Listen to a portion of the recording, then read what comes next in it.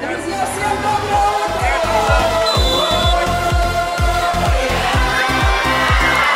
Большое спасибо Картин ТВ, которая постоянно поддерживает в Кубке новой волны и сам конкурс молодых исполнителей.